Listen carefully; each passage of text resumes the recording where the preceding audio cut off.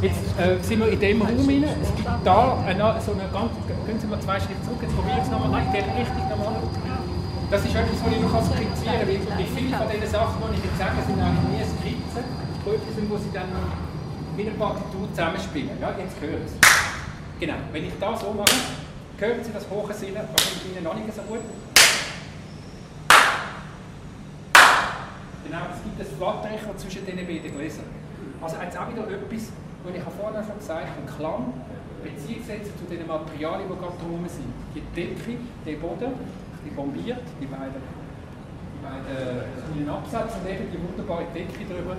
Erst dann ist der Klang eigentlich ein Klang. Wenn ich den jetzt aufnehme und das nicht mehr drauf habe, dann ist er eigentlich isoliert, dann ist es wie ein Schmetterling, den sie zwar mitnehmen, aber Töne so, von so einer Nadel stecken und dann bewundern, oder? Das sind eigentlich die aufgenommenen Töne. Und ich möchte Ihnen eigentlich den Mut machen, in der Natur anzuhören. Das ist viel geheimnisvoll. Jetzt lassen Sie mal umkehren. Hören Sie den Wind von der Brücke? Das ist, dann, dann, ist, dann sind Sie gut, wenn Sie jetzt den Wind hören können. Das kann man. Jetzt ist gerade ein bisschen, man muss den wieder Halsschlag so weit, wenn wir mit dem Ich denke, es war ganz schön, ist das Land. Jetzt gehen wir aber in die Richtung, wir hören es nachher da oben. Jetzt gehen sie zum Tor raus und kommen gerade in den neuen Raum. Jetzt gerade da stehen dass wir jetzt gesehen haben mit den beiden Fenstern, wiederholt sich da oben mit den beiden Flanken da oben. Hallo! Und es macht einen Klang, der raufgeht. Also wenn man da durchgeht, hat man zuerst einen niedrigen Klanghimmel, einen Wein und nachher geht es auf und dann hat man Champagner. Also wenn Sie da vom Weiten Champagner haben, das hören, ist das wunderbar. Und sie haben vorne auch einen Klangvorhang, der ihnen schützt. Es steht immer ein Tram da. Das gehört zu dieser Choreografie. Und jetzt kommen wir mal ein bisschen weiter.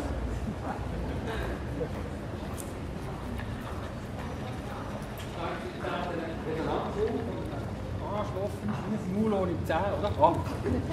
Und wissen wie wieder eine, eine, eine Scheibe. Also die, die immer zusammen. Jetzt sind wir da in einem profaneren Raum.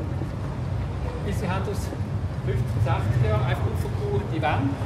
Die haben nur noch ganz kleine, das sind keine Taschen. Und das ist so ein Raum, wo sie normalerweise gar nicht hören. Jetzt haben wir das Tram, das andere.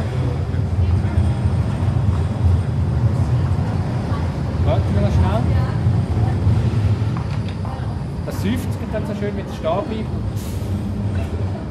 Nein, das nicht. So im Takti-Film, oder?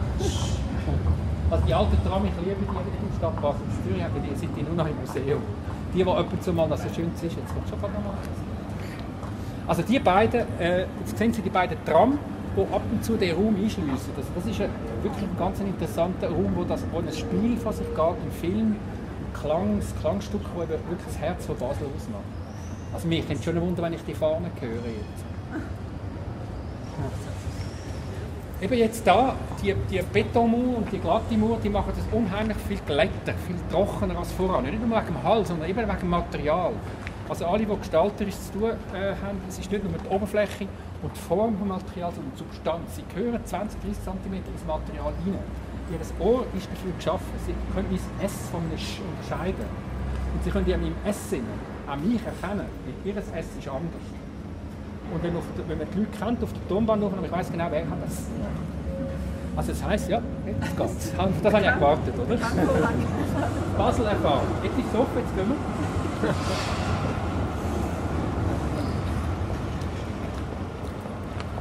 Und jetzt hören Sie die Polizei Hallo! Die hat das ganze System, das genau so lang ist wie die Uhr da und das hat auch so eine Kaserne auch. So ist, so ist die Polizei. Gut.